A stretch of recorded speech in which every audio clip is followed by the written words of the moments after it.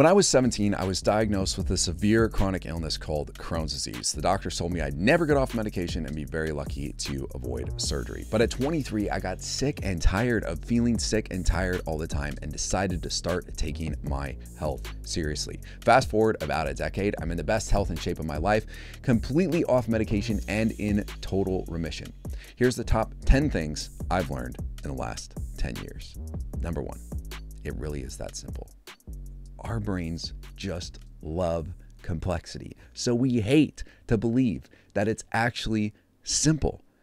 For a long, long time, I bought into the belief that all these other health things like sleep, diet, exercise, meditation, laughing with friends, they work for other people.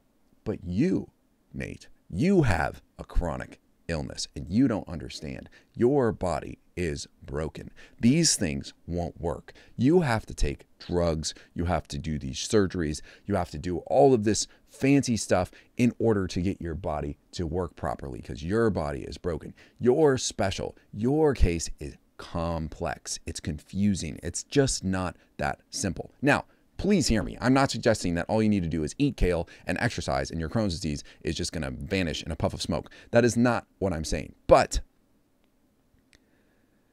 about six years in, I realized I was spending a ridiculous amount of energy looking for the secret sauce, the magic supplement, the perfect drug, the the ideal thing, the complicated method to fix my problem. When all I really needed to do was focus all that energy on stuff that's scientifically proven to help any human being function better.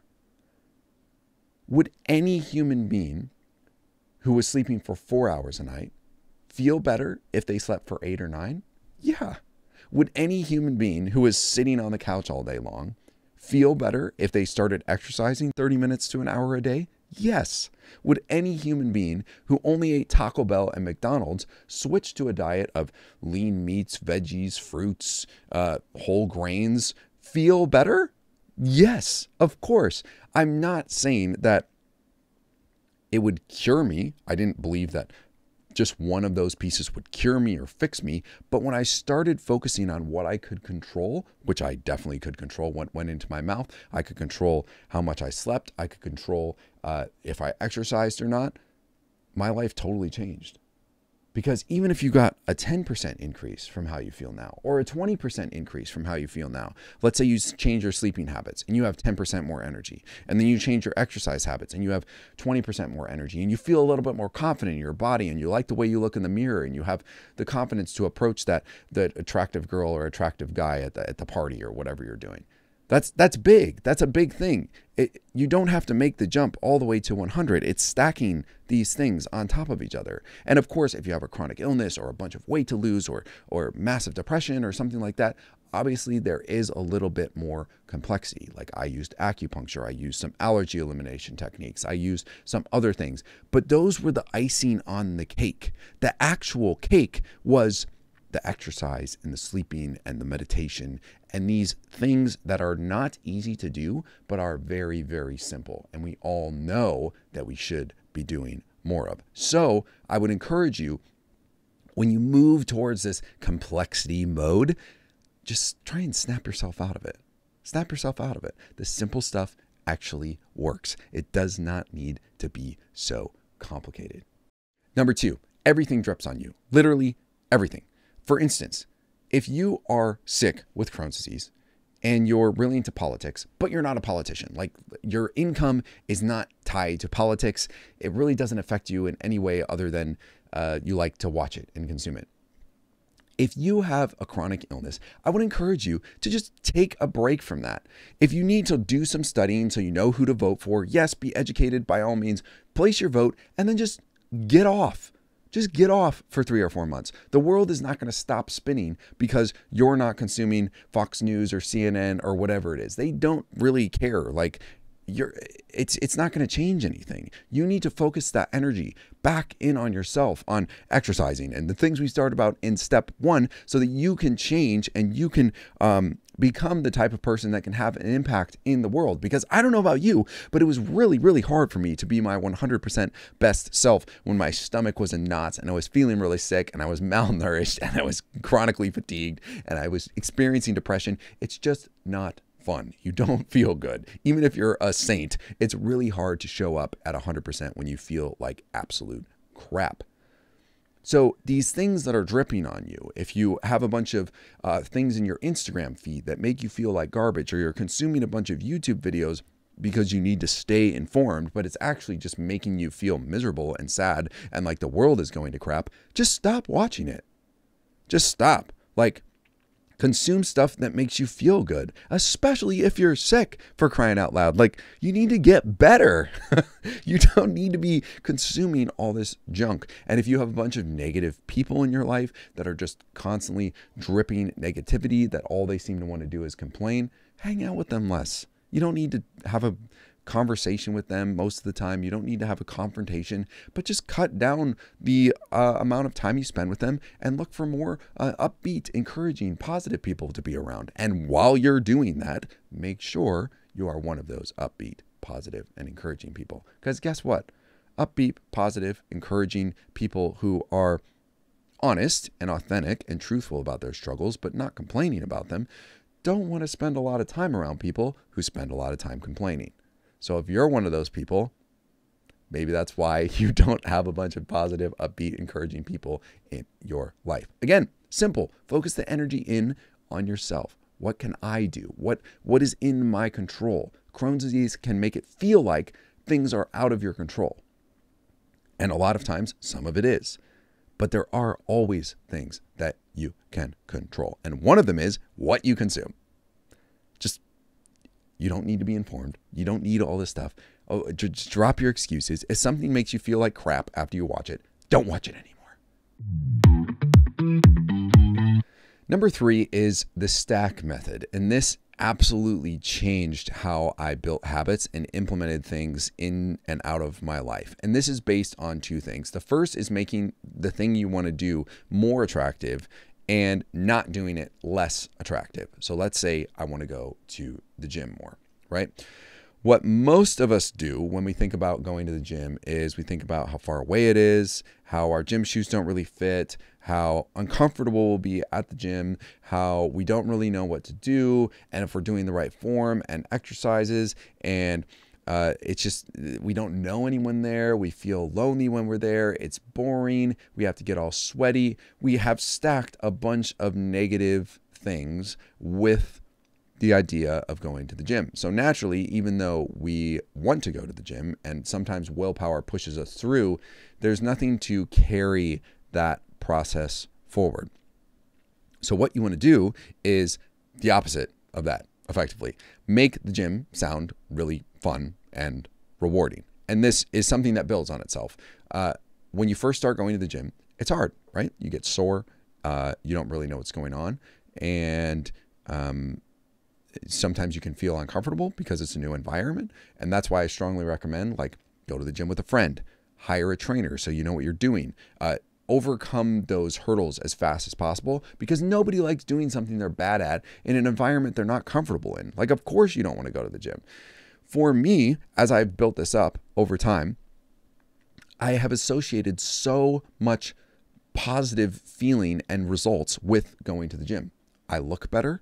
I feel more confident. I have more energy. I think more clearly. Uh, it's a, it's honestly a reset sometimes in the middle of my day. Like I'll work on shooting videos or I'll work on something for four or five hours, and then I'll go to the gym. It resets me. Put in some music or go for a workout with a friend. We have great conversation in between sets. It's it's something that I've learned to look forward to. I get uh, more attention from the opposite sex because of my gym behavior. I have better sleep because I work out. I feel overall better about myself. That there's just a ton of stacking of positive to going to the gym. And then on the opposite side, you have the negatives. Well, if I stop exercising, I remember what it was like when I was really, really sick with Crohn's disease. And I'm not saying that just stopping exercise would make me feel really, really sick again, but I would trend towards not feeling good. I remember what it was like to look in the mirror and feel kind of ashamed about myself and and not feel good about how I looked in the mirror. I remember what it was like to um, just feel less confident, have less energy, uh, not be as assertive, and not feel as good about myself. And I didn't like that. So, not going to the gym just sounds unattractive. I'm not saying lie to yourself and tell yourself uh, things that aren't true. Like the gym is obviously hard. When you're in there, it, it, it's difficult. It's challenging. It can be painful. Maybe you're sweaty and you don't like being being sweaty. But you can focus on the things that are the positives. When I go to the gym, I listen to my favorite music or my favorite podcast. When I go to the gym, I go with a friend and it's really fun. When I go to the gym, uh, I like pushing myself to see how to see what I can push myself through and see much how much I can tolerate. And when I get through this workout, I'm going to feel so good about myself because it was really hard and I pushed through and I did it anyway. You focus on that stuff instead of the stuff that brings most people down and slows most people down. So you can do this with anything that you want to change. If you want to uh, let go of a negative behavior, you can stack all the negative stuff. When you do that behavior, you can be like, wow, okay, I just did this behavior. Uh, now I don't feel good about myself. I feel bad, uh, like, like drinking. Uh, you wake up the next day, it's like, I feel bad. I'm hungover.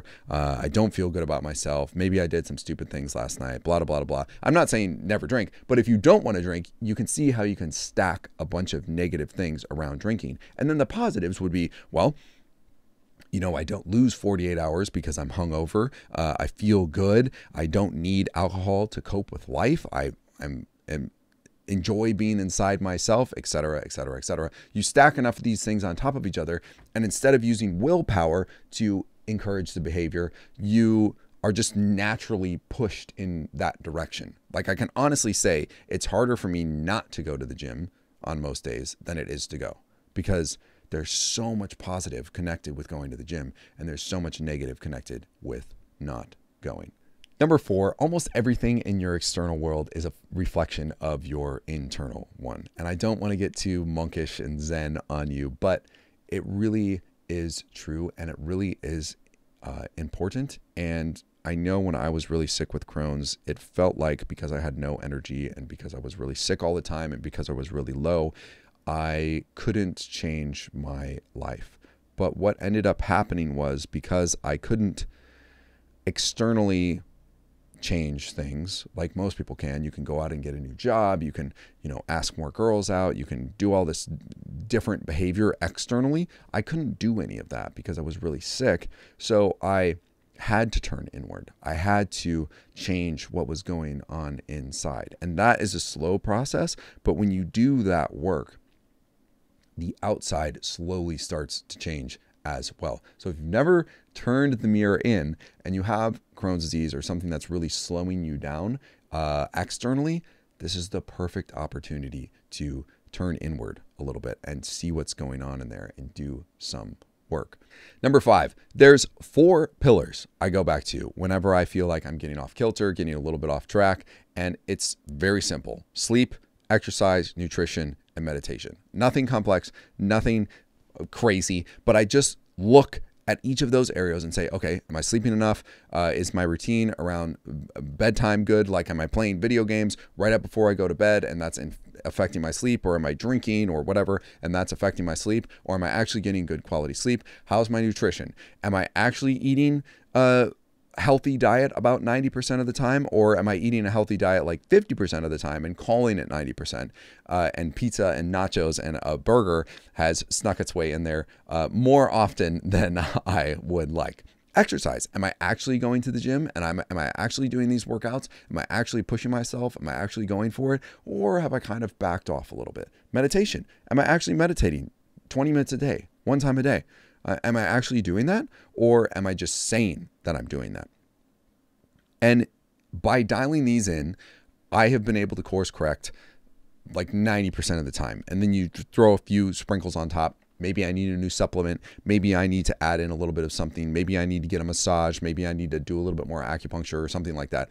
But that's the icing on the cake. You would be stunned by how few people actually sleep seven to eight hours a night, exercise five days a week, eat clean 90% of the time, 80 to 90% of the time, and meditate once a day for 20 minutes.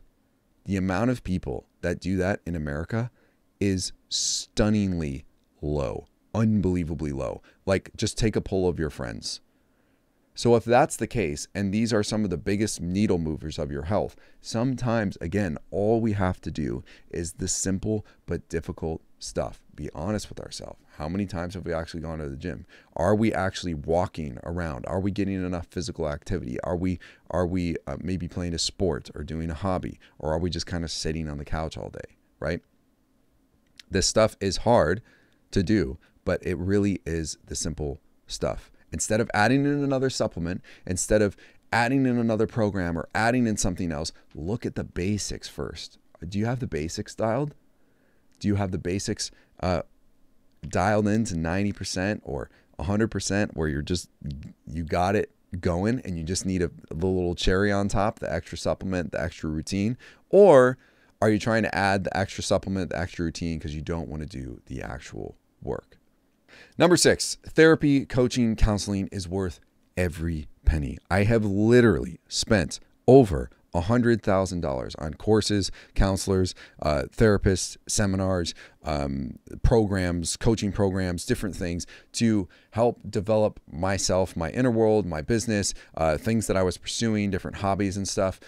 And it's always been worth it. Some coaches are definitely better than others. Sometimes it takes a while for you to find a good fit. But what I've found is as you pursue it, someone kind of shows up and then you work with that person for a while and then maybe you outgrow what they have to teach you a little bit or that you learn what they have to teach you and then you move on to the next coach and you work with something else and you work with a, a different piece of yourself or a different part of yourself or something else you're trying to go after but it's always been worth it for me to do this stuff.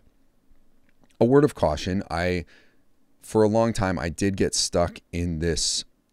I'm equating growth and learning.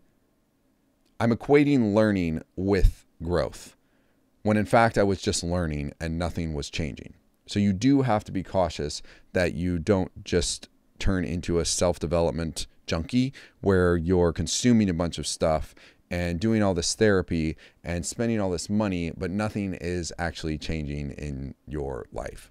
So be cautious of that. But I would strongly encourage you, especially if you have Crohn's or depression or any of these things where there's a lot of internal stuff going on, sort through that. You can you can. It's very, very possible. And there are really, really excellent therapists and coaches that can help you help you do that. Some of them are not excellent. So if on your first try you find someone who just doesn't really seem to know what they're doing, that's okay. Find someone else. Like it's worth it. Number seven, goal setting is good. But from what I've found, the planning phase is less relevant than everyone makes it out to be. What I mean by that is especially with a chronic illness. My energy levels were up and down. The flares would happen up and down. So I would feel good one moment and then be sick, and sick the next. It was very, very hard to be consistent. And what I found worked really well was pointing myself as if I were a ship, pointing myself in one direction, saying, here's where I want to go. So that's where the goal piece comes in. It's like, this is the person I want to be in a year. Okay, we're going in this direction, or three years, or whatever it is. We're going this way. And then let go a little bit of the planning process. Like, I'm going to do X, and then I'm going to do Y, and then I'm going to do Z, and it's going to be in this order, and it's super detailed and all laid out. It's important to think through that. Obviously, you need to have some sort of plan uh, in order to get to where you want to go. But the most effective way to do this is set a goal. Let's say you have a goal to lose 50 pounds. Okay, what are the habits that is going to get me to that goal? Well, exercising uh, four to five days a week, um, dialing up my sleep seven, eight hours a night, uh, changing my diet to 80 to 90% fairly clean, healthy, whole foods, and doing something to make sure I'm not super stressed out all the time, like meditation or or prayer or something like that, just to make sure um, I'm not living in this constant state of fear and tension, maybe getting a therapist, because uh, if you have a bunch of stress in your body, it's definitely harder to lose weight. Okay, so I'm going to add these habits and focus on these habits to get me to my goal. So if I exercise, if I look back at my week and I exercised five times and I ate fairly clean and I slept most of the time for about eight hours a night, and maybe I went to a therapy or coaching session, I'm going to call that a win. I didn't reach my goal of 50 pounds yet, but I did the behaviors that are going to get me there. And if I do this for long enough, then I'm going to get there. And that's where I focus. That's where I focus my energy. Not on this huge, detailed plan of like, oh, I got to do all this stuff. It's just a waste of time in the most part. Just focus. Where do I want to go? What are the habits that are going to get me there? And then I am winning if I do these habits. I'm, I'm moving towards my goal, and that is a win. Number eight, this ties directly into number seven, and that is action wins. I know if you watch any sort of self development, YouTube or whatever, they always say this, but truly, the regrets, if I have any in my life, are always to do with something I didn't do and never to do with something that I did. Like, for instance, this channel, I wish I would have dove into it with more force uh, and gusto sooner than I did. And I'm proud of myself for creating videos and, and doing it along the way, but it was somewhat inconsistent and somewhat lackadaisical. And I wish I would have went after it uh, with more intensity when I first got the idea. At least I still pursued it. I'm proud of myself for doing that. I'm here today doing it. But if I would have taken more action sooner, that would have been better. It's so easy. This is tied directly into point number one, where uh, we like to think make things more complex than they actually are. It's so easy to fall into the trap of, oh well, I can't go to the gym because I don't have the perfect workout clothes. So I'm going to wait for them to arrive. And then, oh, I don't want to go because I was going to go with Stacy, but she canceled. And so I shouldn't go today. You're just waiting for the perfect conditions to do the behavior that you know you need to be doing.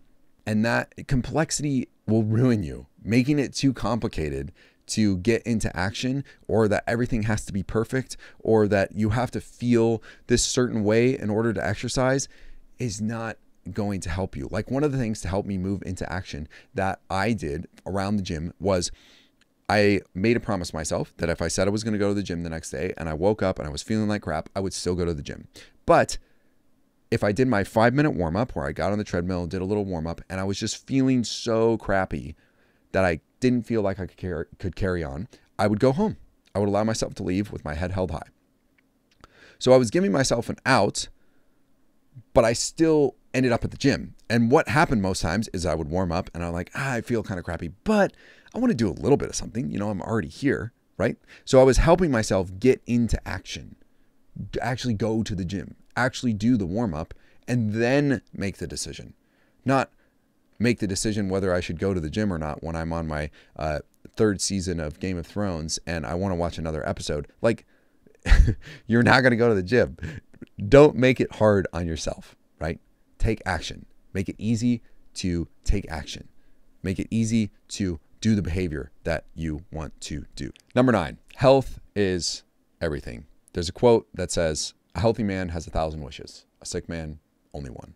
And if you've been sick for not just days, but months or years, you know how real this is. If you have a chronic illness or a, a, mental thing like depression, or you have a bunch of weight that just won't seem to come off and you've been battling it for months or years, you know that that becomes the sole object of your focus. But instead, what most of us tend to do is we focus on money, for instance, because we want money. So we work ourselves to the bone and we overcaffeinate and cope with alcohol and bad food, and we get the money. But then we spend the rest of our lives using the money to try and get our health back. I would suggest that that's pretty dumb. yes, money is important. Money is valuable. Money is is great. It's a great tool and there's nothing wrong with pursuing it. But I do not for one second believe that you need to sacrifice your health in order to be financially successful. If you're talking about becoming a billionaire, yeah, maybe, I don't know, I'm not a billionaire. But to get to a point where you're financially free and comfortable and and feel good about yourself as long as you have some good work ethic and you're constantly focused on growing and um, you're aligned to who you are and you're working on all this stuff and doing the, the other things on this list, you don't have to sacrifice your health to get money. That's that's just ridiculous and absurd. Would someone who is really sick and coping with all sorts of unhealthy stuff like alcohol and and and maybe drugs and eating poorly and all this stuff because they're so stressed out.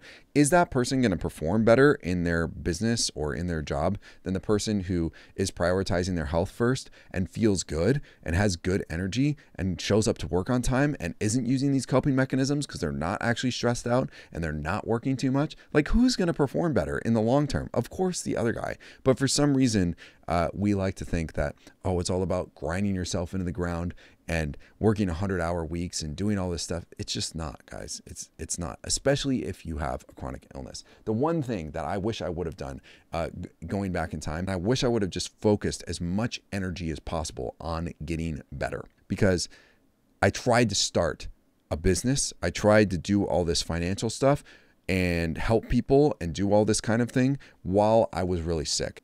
Just get a minimum wage job, something super easy. Uh, like I worked front desk at a gym for a while. I paid like 20 bucks an hour or something like that. Should have just kept that job, just chilled out, cooled my heels, worked front desk, read books at the front desk. It was super chill, small town gym. Just done that, not worried about increasing my financial uh, gains or starting a business or anything like that, and dialed in my health make sure my sleep was good, make sure my diet was good, all these things we've talked about. And then once I've got my health dialed, then move into other ventures. It's just so hard to build a business or um, expand in another area of your life when you're at, you know, 30% or 20% because you feel like crap all the time. It's hard, anyways, to build a business. And when you're trying to do it when you're really sick, oof, it's just a struggle. I would have saved a lot of time if I would have focused on my health. Obviously, been responsible, pay my bills, uh, but find a way of working that's low stress, easier, um, allows me to explore and dive into health. That would have been a much, much better idea. And finally, number 10, you can absolutely completely change who you are. I know that sounds cheesy, but most of us are just not willing to commit to the amount of time it takes to make these changes. There's a Tony Robbins quote that I love, and he says, Most of us overestimate what we can accomplish in a year and underestimate what we can accomplish in a decade. Looking back to my 25 year old self, I was chronically sick, I was on medication, um, I was depressed, I had massive anxiety, I didn't want to travel or get in cars or go on planes because my stomach was just all over the place. Um, I didn't know what I wanted to do with my life. I was super unhealthy, on and on and on, right? If you would have told 25 year old Nate that this is who I was going to be at 35, I would have been stunned. I would have been like, no way, there's, it's not possible. I'm not saying I'm a perfect human being and I have it all together, but the amount of change in 10 years is dramatic. It's insane. And this is what I'm saying when I, when I was talking about goal setting is set your goals and then line up point yourself in that direction. Figure out what daily habits, what weekly habits you can do that is going to turn you into this person over here.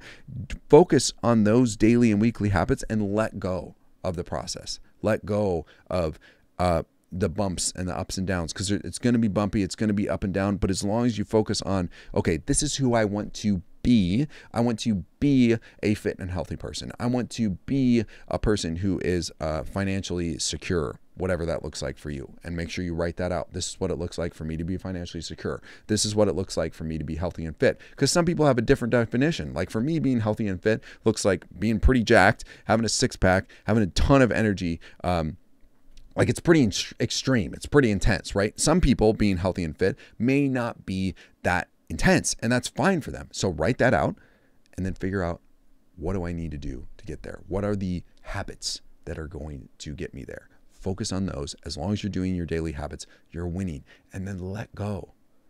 It could take you three years, it could take you five years, but the three and five years is going to go by anyway, guys. It's going to go, it's going to pass anyway. And you could wake up in three years or five years and be like, damn, I'm a totally different person. Or you can wake up and rewatch this video and be like, hmm, I didn't change very much. That kind of sucks. And then you have to start in five years from now. So would you rather start right now or start in five years? I encourage you take the leap, whatever that pull is inside you. Like, mm, I feel like I really need to do this. I really need to go to the gym. I really need to start reading more. I really need to take this course or hire a therapist, or I really need to quit this job and change jobs, or I really need to dial into my health. Whatever is that pull in there for you, go after that. Follow that and make time. Open yourself up to making time to listen to that and lean into that because that's you that's the that's the true you whatever you want to call it follow that lean into that pursue that and relax and allow time and your habits to work its magic and you will be stunned by the results Thanks so much for watching this video. I appreciate your time. Uh, if you're stuck in a Crohn's flare right now, I have a full five day course on exactly what I would do to get out of a Crohn's flare. There's a link below in the description. You can check that out. It's totally free. I hope it helps you because I know how much being in a Crohn's flare sucks. It is super not fun. So I made that totally free. Uh, you don't even have to enter your email or anything. It's just right there on my website. I hope that helps. And we'll see you in the next video. Take care.